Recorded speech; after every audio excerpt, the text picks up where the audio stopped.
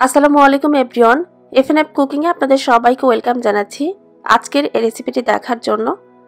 আজকের আয়োজনে আপনাদের জন্য নিয়ে এসেছি পারফেক্ট একটা ভ্যানিলা স্পঞ্জ কেক তৈরির রেসিপি আর আজকের এই কেকটা আমি তৈরি করে দেখাবো মাত্র একটা ডিম দিয়ে।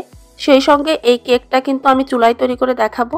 চুলায় কেক তৈরির ক্ষেত্রে এখানে কেকের ওপরে সুন্দর একটা কালার আসার জন্য প্রয়োজনীয় টিপসও আমি কিন্তু শেয়ার করেছি। তো আশা করছি মাত্র একটা ডিম দিয়ে চুলায় তৈরি করা পারফেক্ট ভ্যানিলা স্পঞ্জ কেকের আজকের এই রেসিপিটা আপনাদের কাছে ভালো লাগবে। তো মূল রেসিপিতে চলে যাচ্ছি।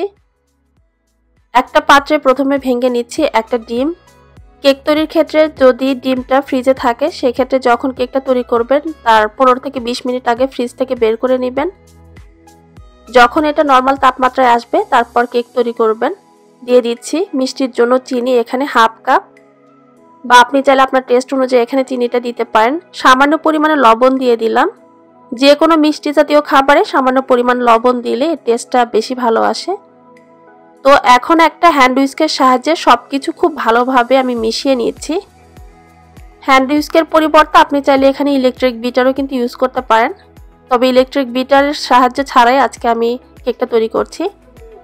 একটু সময় নিয়ে এখানে হ্যান্ড উইস্কের সাহায্যে ডিম, চিনির মিশ্রণটা খুব ভালোভাবে মিশিয়ে নিতে হবে যেন চিনির কোনো ধরনের কোনো দানাদার ভাব না থাকে। ডিম, চিনির মিশ্রণটা ভালোভাবে মিশিয়ে নেওয়ার পর এখন দিয়ে দিচ্ছি ওয়ান ফোর্থ কাপ তেল। তেলের পরিবর্তে আপনি চাইলে এখানে মিল্টেড বাটারটাও দিতে পারেন। তেলটা দিয়ে দেওয়ার পর আবার সব কিছু খুব ভালোভাবে একটু সময় নিয়ে মিশিয়ে নিচ্ছি। কিছুক্ষণ হ্যান্ড উইস্কের সাহায্যে এভাবে মিশে নেওয়ার পর দেখবেন যে এর কালারটাও অনেকটা চেঞ্জ হয়ে আসবে এবং একটা স্মুথ ব্যাটারে এটা পরিণত হবে। এখন দিয়ে দিচ্ছি এক কাপ ময়দা। আর ময়দাটা সরাসরি না দিয়ে একটা চালের সাহায্যে চেলে দিলে বেশি ভালো হয়। ময়দাটা দিয়ে দেওয়ার পর দিয়ে দিচ্ছি এখানে এক চা চামচ বেকিং পাউডার বেকিং পাউডারটা এখানে কেকটা ফুলতে সাহায্য করবে।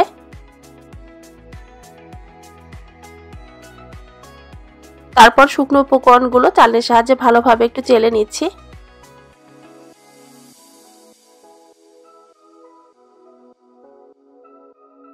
শুকনো উপকরণগুলোকে ভালোভাবে চেলে নেওয়ার পর এখন সমস্ত উপকরণ আলতোভাবে একটু মিশিয়ে নিচ্ছি।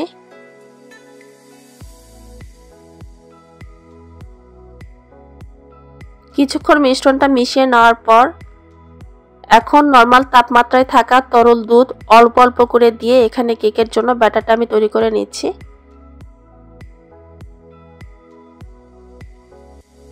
একসঙ্গে বেশি পরিমাণে তরল দুধ না দিয়ে অল্প অল্প করে দিলে ব্যাটারের কনসিস্টেন্সিটা কিন্তু ভালোভাবে বোঝা যায়। তো অল্প অল্প করে এখানে তরল দুধের মিশ্রণটা দিয়ে ব্যাটারটা আমি তৈরি করে নিয়েছি আর এর ঘনত্বটা কেমন হবে সেটা আমি আপনাদের একটু দেখিয়ে দিলাম। সুন্দর একটা ফ্লেভারের জন্য দিয়ে দিচ্ছি হাফ চা চামচ ভ্যানিলা এসেন্স ভ্যানিলা এসেন্সটা দিয়ে দেওয়ার পর আবারও সব কিছু খুব ভালোভাবে একটু মিশিয়ে নিচ্ছি। ভ্যানিলা এসেন্সটা দিলে ডিমের যে একটা স্মেল থাকে সেটা পাবেন না। এতে করে সুন্দর একটা কেক থেকে ফ্লেভার পাওয়া যাবে। তো কেকের জন্য মিশ্রণটা রেডি হয়ে গিয়েছে। আপনাদের বোঝার সুবিধাটা আবারও আমি ব্যাটারটা একটু তুলে দেখাচ্ছি, এর ঘনত্বটা কেমন হবে। কেকটা বেক করার জন্য এ ধরনের একটা রাউন্ড শেপের বেকিং প্যান নিয়ে নিয়েছি। প্রথমে প্যানের ভেতরে বেকিং পেপার গোলাকার করে কেটে নিয়েছি। তার উপরে সামান্য পরিমাণে আমি তেল ব্রাশ করে দিচ্ছি। এরপর কেকের ব্যাটারটা ঢেলে দিচ্ছি। সম্পূর্ণ কেকের ব্যাটারটা নিয়ে নেওয়ার পর আলতোভাবে একটু ট্যাপ করে দিচ্ছি। এতে করে ব্যাটারের ভেতরে যদি কোনো এয়ার বাবলস থাকে, সেটা বের হয়ে যাবে। একটা ঢাকনা দিয়ে ঢেকে প্রথমে এই সিলভারের হাঁড়িটা পাঁচ মিনিট চুলার আঁচটা মিডিয়াম থেকে বাড়িয়ে আমি প্রিহিট করে নিয়েছি।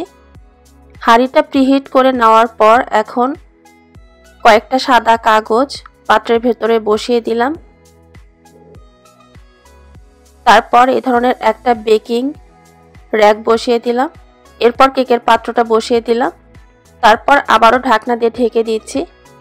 এখন ঢাকনা দিয়ে ঢেকে চুলার আঁচটা মিডিয়াম থেকে কমিয়ে, অর্থাৎ মিডিয়াম লো আছে এইভাবে আমি চুলার ওপর বেক করব প্রায় 30 থেকে চল্লিশ মিনিটের জন্য। যেহেতু একটা ডিম দিয়ে এখানে কেকটা তৈরি করছি, সেক্ষেত্রে এর থেকে কিন্তু বেশি সময় লাগার কথা না। প্রায় চল্লিশ মিনিট এখানে কেকটা আমি বেক করে নিয়েছি এবং একটা টুথপিক দিয়ে এটা আমি চেক করে নিয়েছি। তো কেকটা আমার হয়ে গিয়েছে, এখন এটা আমি চুলা থেকে নামিয়ে একটু ঠান্ডা করে নিয়েছি। বেকিং পেপারটা আমি তুলে নিলাম। তো দেখুন কেকের নিচের অংশটাও কিন্তু পুড়ে যায়নি আর একটা ডিম দিয়ে তৈরি করা হলেও এবং চুলাতে তৈরি করা হলেও কিন্তু কেকের উপর খুব সুন্দর একটা কালার চলে এসেছে। কেকটা বেশি ফোলার কারণে এখানে উপরের অংশটা একটু ফেটে গিয়েছে। আর এটা কতটা নরম বা তুলতুলে হয়েছে সেটাও আমি আপনাদেরকে একটু দেখিয়ে দিচ্ছি। কেকের ভেতরটা কেমন হয়েছে সেটা কেকটা কেটে আমি আপনাদেরকে দেখিয়ে দিচ্ছি। দেখুন, কেকের ভেতরটাও কিন্তু ভালোভাবে কুক হয়েছে। এখন কেকটাকে ছোট ছোট ভাগে আমি ভাগ করে কেটে নিচ্ছি। তো আশা করছি মাত্র একটা ডিম দিয়ে চুলায় তৈরি করা পারফেক্ট ভ্যানিলা স্পঞ্জ কেকের আজকের এই রেসিপিটা আপনাদের কাছে ভালো লেগেছে।